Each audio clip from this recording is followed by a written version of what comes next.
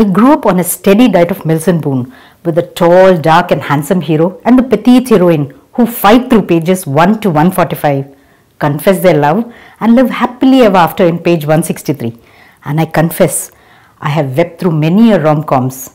You've Got Mail being the topper, and imagine the happy couples singing on a rainbow covered in pixie dust. But in the real world, people are not nearly as ideal as they are in the pages of your favorite novel or on the silver screen. People have bad habits, bad attitudes, and problems that prevent a relationship from becoming everything that it could be. Relationships turn toxic, and once the pink colored glasses come off, it all comes crashing down. And while it seems plain crazy to stick with someone who you know is bad for you, it's hard to let go. This episode focuses on the reasons why I think we hold on to toxic relationships. Hi, this is Sheila and you're watching Lumiere 24. Light on.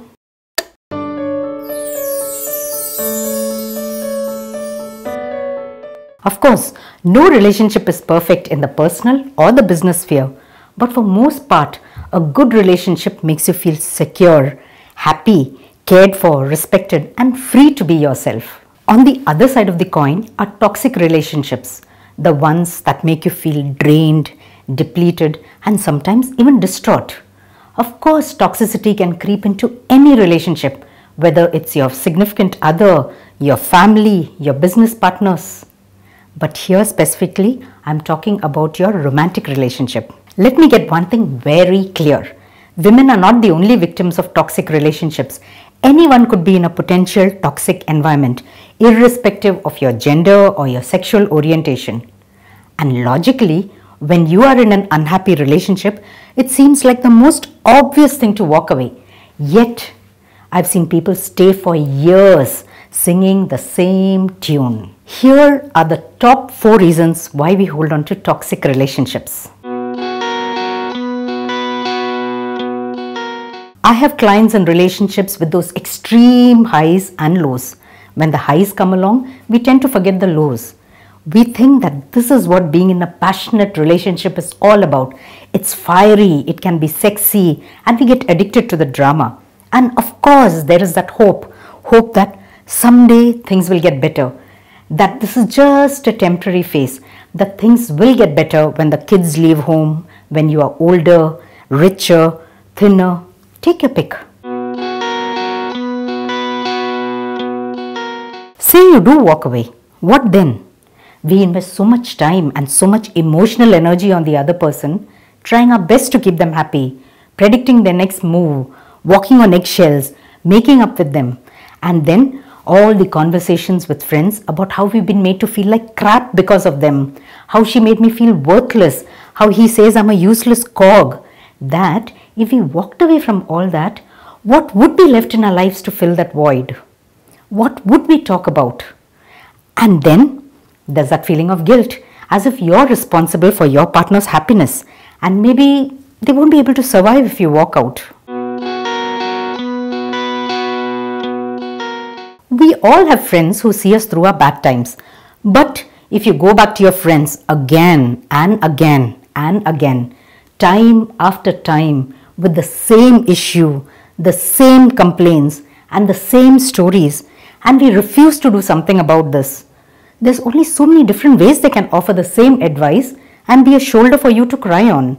They'll probably stay your friend, but take a step back when it comes to getting involved in your relationship. This makes us feel even more alone, and that makes leaving that relationship even less of an attractive prospect. We spend too much time inside our own heads and can lose sight of what's right and what's wrong. Then, of course, there's the most popular reason kids in the mix, shared apartments, pets, loans, or even a social circle. The potential stress of having to find a new apartment, of disrupting the peace within a group of friends, these can outweigh the desire to leave an unfulfilled relationship. Now, a relationship doesn't have to be abusive to be destructive. Sometimes two people can love each other so much but just don't work together they bring out the worst in one another. Sometimes it can seem like there really isn't anything tangibly wrong at all, and often It seems like you just need to put in some effort and get it to work. And the internet is filled with confusing messages. Hold on, let go, hold on, let go. Our head spins. I get it. I just wanted to make you aware. Sometimes you have to come to the right solution yourself, and that can actually be so much better. It's not a case of staying in something and turning a blind eye.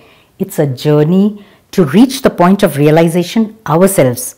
That moment when we know that walking away is the only and the better option. Don't miss my next episode. I will take you through the many reasons why you need to let go of a toxic relationship and an easy tool to navigate through those choppy waters. If you need more help, remember to reach out to me. The link is in the notes below. Meanwhile, do share this video with friends or family members who may need to hear this. Spread the light, folks.